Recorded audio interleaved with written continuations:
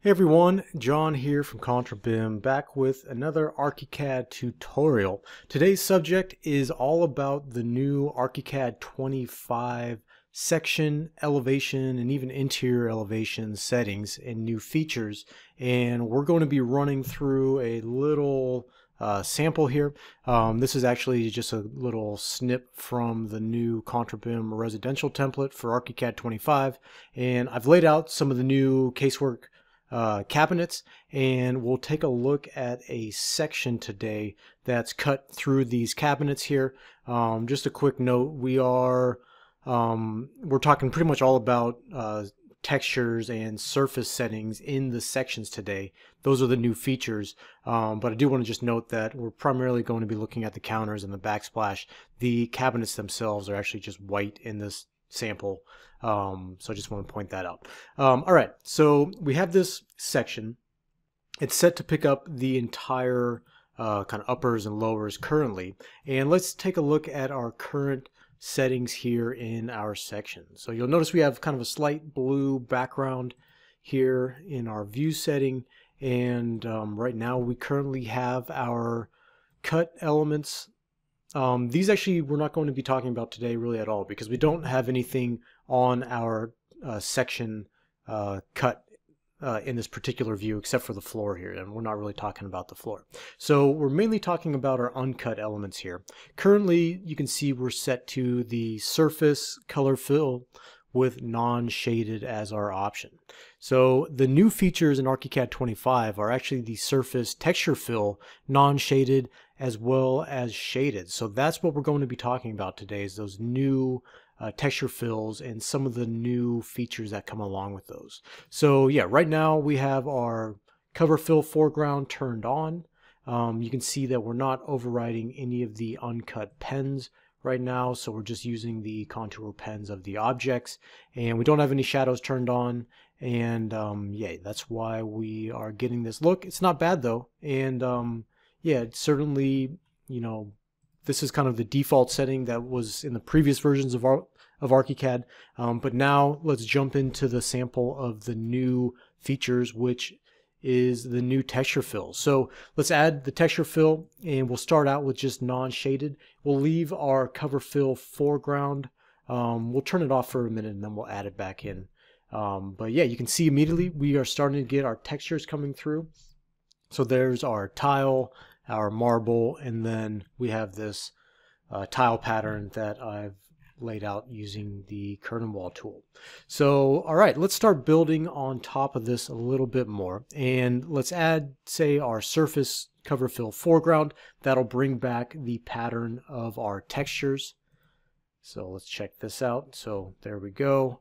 Um, one of the nice things with the ability to really compare the uh, the cover fills and the surfaces at the same time is it does give us the opportunity to go into our surface settings and make some adjustments to try to match these up even closer. So right now we kind of have this light uh, or this very thin uh, gray pen. If we want to add just a little bit of color here to kind of pull out some of that blue to this, we can go in and just um, that would be pretty light. Maybe we'll go with like a darker blue. And let's see what we get now. So, okay, that almost fades out entirely, but that does um, probably match a little bit closer to the actual texture if we zoom way in. So it kind of gives us a little bit of highlight there with that uh, pen color. So that's one of the benefits. I think the side effect of having this texture fill turned on is that now you can actually compare um, more so in context. The uh, the hatching pens that we have um, with the surface themselves. So, all right, let's jump back into our section settings and let's add a little bit more interest to this by turning on our shadows. And we'll turn on our transparency as well. And so you'll see that this is going to start giving us uh, you know, a lot more depth to it. And uh, yeah, this is starting to look pretty good. So that brings me to kind of the next feature that is something brand new in ArchiCAD 25 as well, which is the option for kind of cutting the foreground and the faded distant elements in our section. So let's play around with this new feature as well. And right now our kind of default settings here is we're set to nothing. So we're currently going to be filling any distant elements uh, with nothing. So it's going to essentially be empty. And let's take a look at this and see what we get. So all right, there we are. We can see that because we're filling with nothing, we can actually see that light blue of our background coming through. Uh, but let's jump back over to our uh, floor plan view to actually see where that line is. So you'll notice that this new little cutting line appeared when we jump back over because we had just enabled that feature and we can really move this wherever we want. So say if we only wanted to fade out our backsplash, we can move that to pick up our uppers and when we jump over you can see that that will now uh, cut those out and um, and yeah that's a great new feature for sure definitely like that let's see here let's actually add in you'll notice that um, right now we don't have any of the uh, cover fills coming through from our backsplash. Um, you'll see actually we have the option down here. I do want to just point out that that option is connected to our uncut elements. So as we turn that on and off, it does take away or present that option. So there are some settings here that are definitely directly tied to that option there. So, okay, so now we're starting to bring back our uh, cover fills there. Let's make some more adjustments to this. So let's see what else we have here for our uncut. So you'll notice right now we have this filled with nothing. We could do like a uniform uh, pen color, so that would override all of our uh, contours there. Um, we could turn on our color fill non-shaded, or we can even turn on our surface texture fill non-shaded. Notice down here that our shaded options are grayed out. That's because we're actually tied to our uncut here once again. So when we switch that up top, it's going to switch this down below. And so that is how we can uh, control the different settings on our faded distance. So let's turn this on and we'll leave our cover fills turned on and let's see what we get. Okay, so now we have kind of a faded uh, backsplash there for our texture and um, I think to highlight this feature a little bit more let's create a little bit more contrast in this view setting by going with a black background and let's actually rebuild by hitting we'll, we'll click on this, but it's Control Shift R to rebuild our view. And you'll notice that the background or the faded elements, the, the shading that applies to those is directly related to the background color. So as we adjust this here and we jump back, you'll see that we've now cut out our uppers and you'll see that that dark color has now kind of switched to what we had going on in the back. Um, let's see what else we can do to maybe add a little more interest to this. So um, we could, with our faded elements, we could override with an uncut line pen. Um, and so we could, you know, set this to anything. We could do a light blue, and that's just going to really make those jump out even more. So we're starting to get a little strange in our coloration here, but we just have so many different options that we can um, set here to override those. So um, we could even override with a different pen color. So if we wanted to really kind of fade these out, let's kind of let's go with like a dark blue scheme. You can see that we can, you know, really get those to stand out in this particular view, but it's um um, yeah, it's just another option for overriding those faded option, the, the fade there.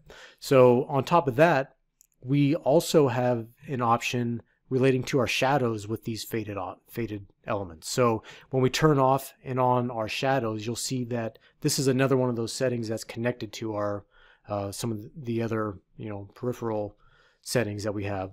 And so by enabling this, we can turn on our shadows here as well.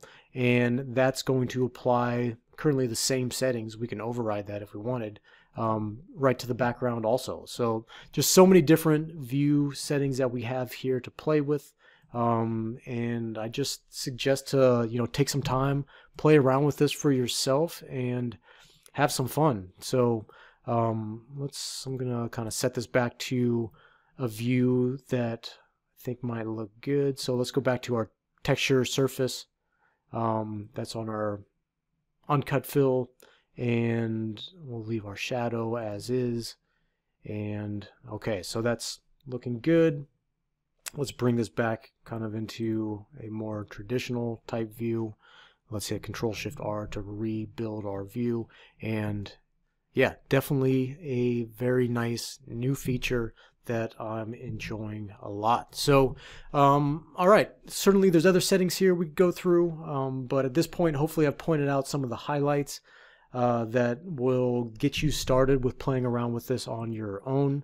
Um, I'd recommend just yeah, go through, play with it, have some fun, and see what different types of views that you can get out of your elements. So um, I'll just kind of highlight that this does look really awesome when we start turning on some other, uh, you know, textures as well. So say for example here we wanted to bring through some different surfaces like a wood surface. Let's add, I don't know, let's add like this one.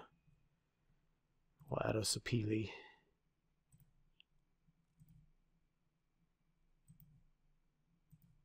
Apply to everything. In this case, we have these segments.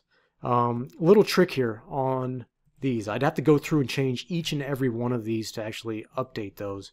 If I uncheck that and then if I click on and off of one that's a little bit more simplified structure, this is a little trick uh, bonus here that we'll add at the end of this video.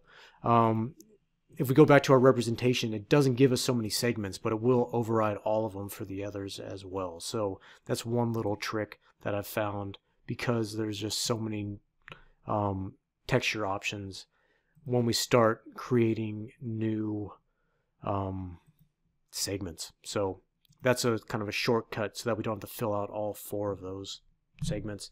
And yeah, you can see that, yeah, we're bringing through all this new um, you know, the new textures. We're still fading out the background options, um, but of course we can turn that on and off and yeah, tons and tons of different options here. So, okay, let's wrap this one up there and uh, yeah, have fun playing around with it. And we'll be back with more tutorials here on the new ArchiCAD 25 features, as well as new features in the ContraBIM residential template uh, which is available now. So I'll post a link to that in the description. Thanks for watching. Talk to you soon.